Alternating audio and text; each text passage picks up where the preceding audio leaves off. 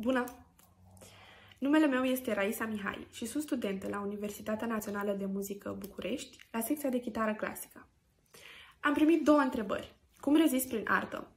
Și dacă arta contribuie la identitatea mea romă?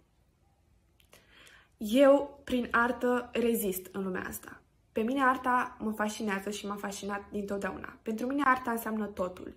Eu, prin artă trăiesc și din artă mă hrănesc.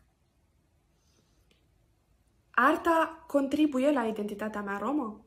Da, contribuie și întotdeauna a contribuit. Și consider că de această dată, prin intermediul artei, putem crea o formă de mișcare diferită și importantă. De această dată putem aborda altfel situația, printr-un mod de apărare puternic intelectual, fără a mai fi răstălmăcit de restul societății.